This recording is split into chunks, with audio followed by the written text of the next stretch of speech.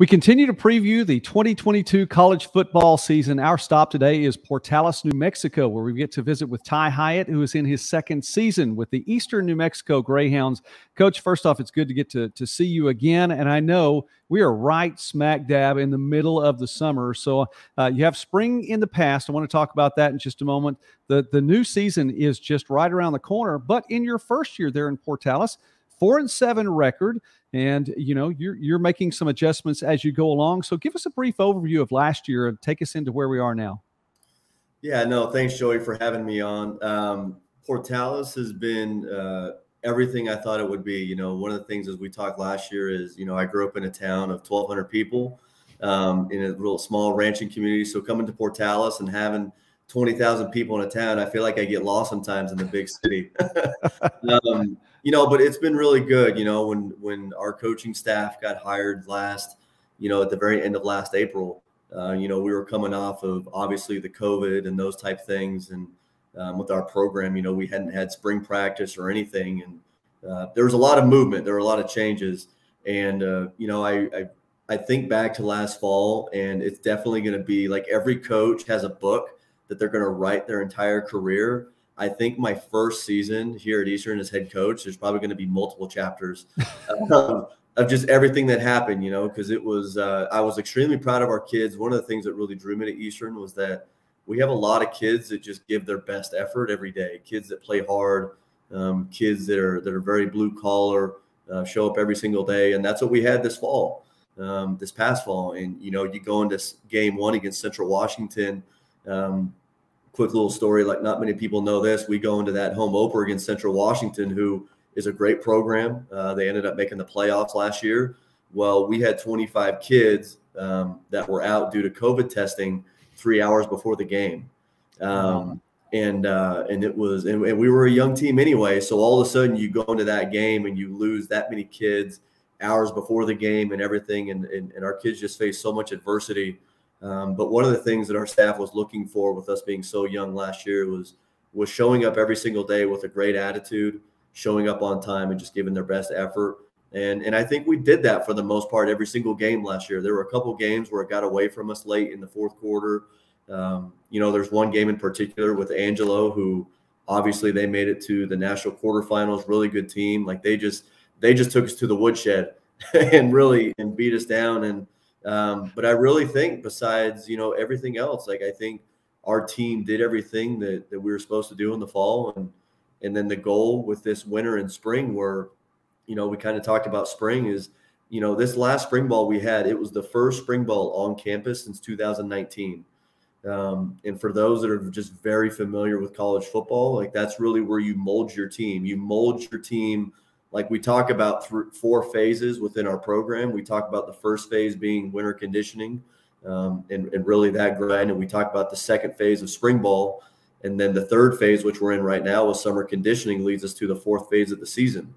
And when you're at a program where you miss those phases continuously for multiple years, it, it tends to have an effect on the program. Um, but I can tell you that that our kids – I was so happy with the fact that right after we played our last game at Commerce, um, you know, who I thought was an extremely talented team. They're obviously FCS now. Um, I thought we battled them, and then our kids came back and they were hungry to get better. And and I can really, when I tell our kids, they say, you know, when you go to sleep every single day, you want to look at yourself in the mirror and just know that you did everything you could to become better that day. Go to sleep and wake up and do it again. And and I really feel that our team did that through winter conditioning um, they did that through spring ball as that kind of leads into our summer running right now. And again, I'm I'm happy for you all that you were able to have spring ball this year, and that that moves us into where we are right now. But uh, with that in mind, there are some changes, and and folks who saw the program last year are going to see some different people, personnel both on the field and on the sidelines as well. And I think it starts when you're talking about your players. New quarterback there, Valencia moves on, but you have a transfer in Kason Martin coming in, and also I'm sure there'll be competition in the camp.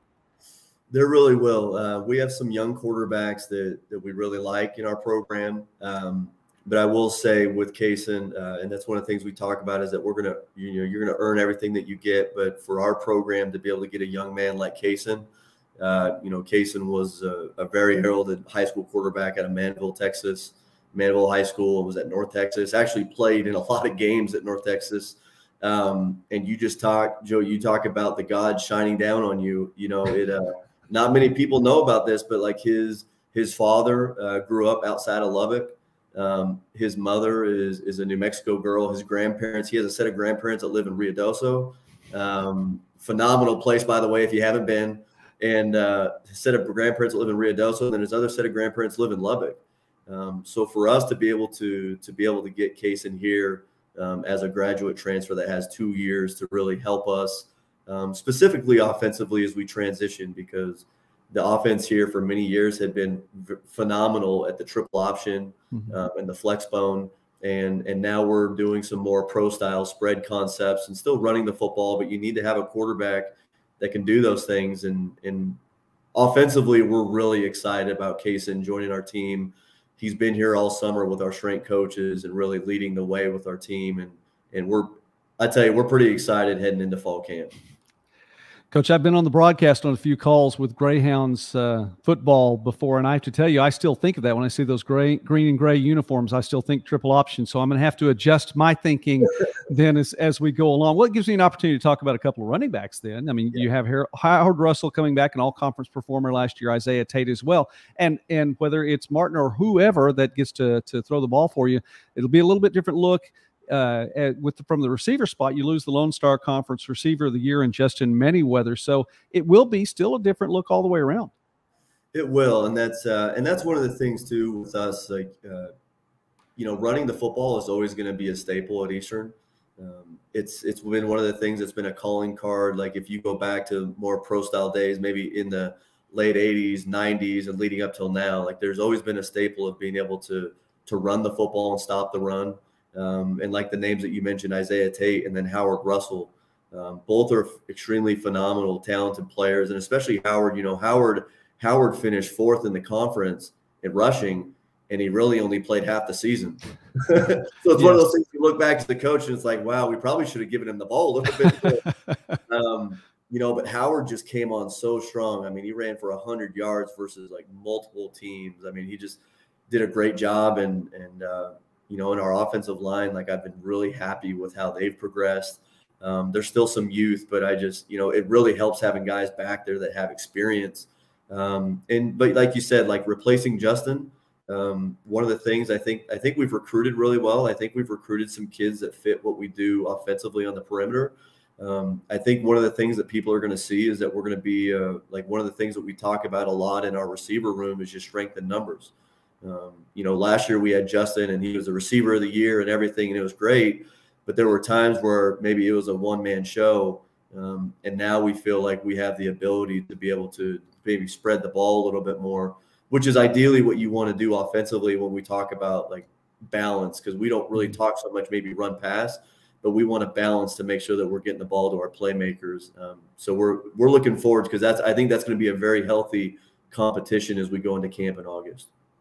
We're speaking now with Coach Tye Hiatt here on the summit as we preview the college football season for 2022 here on Midwest Sports Net. And I encourage you, please like this video. Take the time to do that. It helps us. And if you haven't already subscribed, please do that as well. We've crossed the thousand subscriber mark. So now we're pushing for two. And I encourage you to be along for the ride.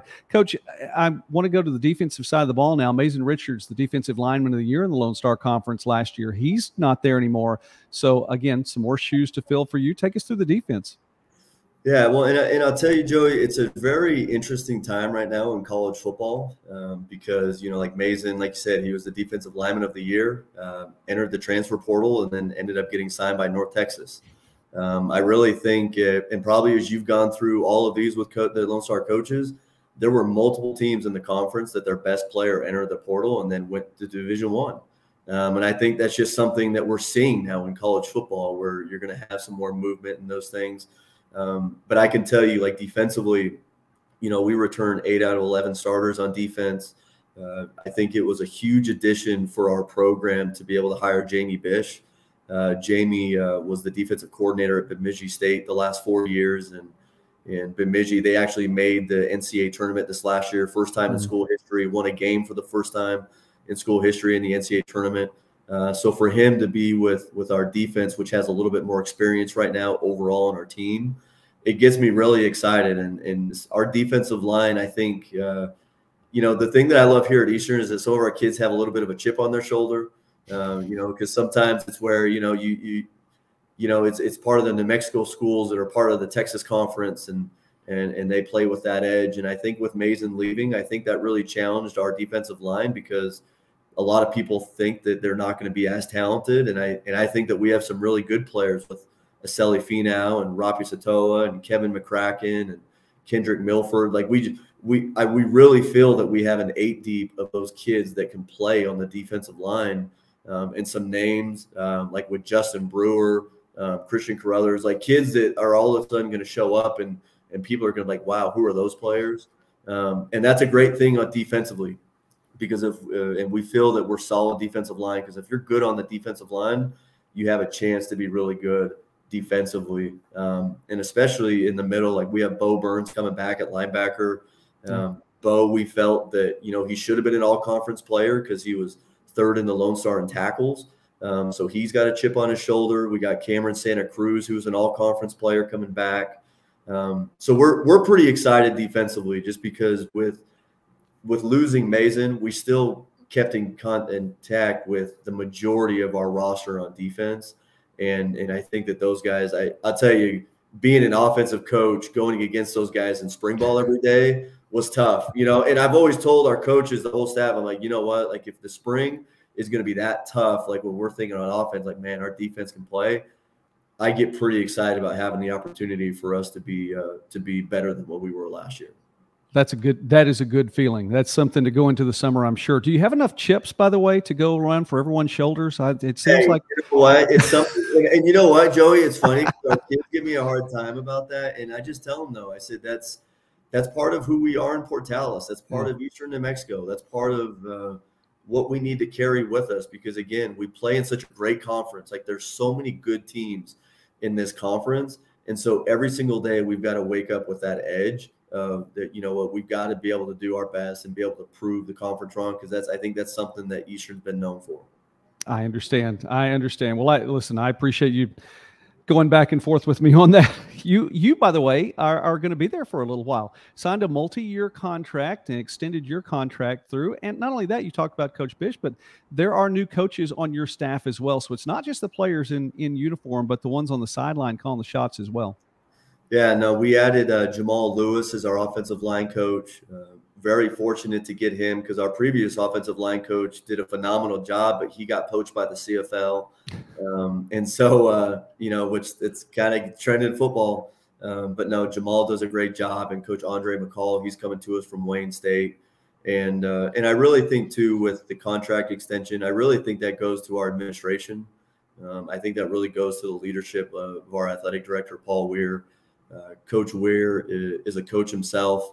You know, he's coached Division One basketball at a high level, um, and so for him to have the confidence uh, in our staff to be able to be here and be able to to execute and be able to uh, you know like i go back to last year with four and seven like here at eastern that's not acceptable. Um, and our goal is to be better and, and to keep on improving. And and really i think it just goes to them for the confidence they, they have in our young men um, for what their ability to be able to do well academically to graduate and then be able to play well in the conference and coach, I appreciate the humility, but congratulations to you as well too, because it, it does say a lot for you and, and for your staff. As we wrap up our time, I, I want to ask about the schedule then it is a solid schedule. 2022 bookended by in-state opponents you go on the road first to take on new mexico highlands close out the season at home against western new mexico. A nine game conference schedule as well. First time that greyhounds fans will get a chance to see you this year will be on a saturday september 10th and that's going to be against midwestern state as uh, you all are hosting that one. Yeah, no, we we're pretty excited about our schedule. I, like you said, Joey, I think that this schedule is really tough and I think it goes to this conference. Like this conference is really good at every every sport, but really football. I mean, there's some good teams, and and we're excited to play Highlands because it's in state. Um, you know, we want to play the in-state schools, and and but our kids are, you know, we're pretty excited for Midwestern uh, because you know we host them on a Saturday night, and that was a game last year that you know when we look at our season and we circle that, uh, hats off to them.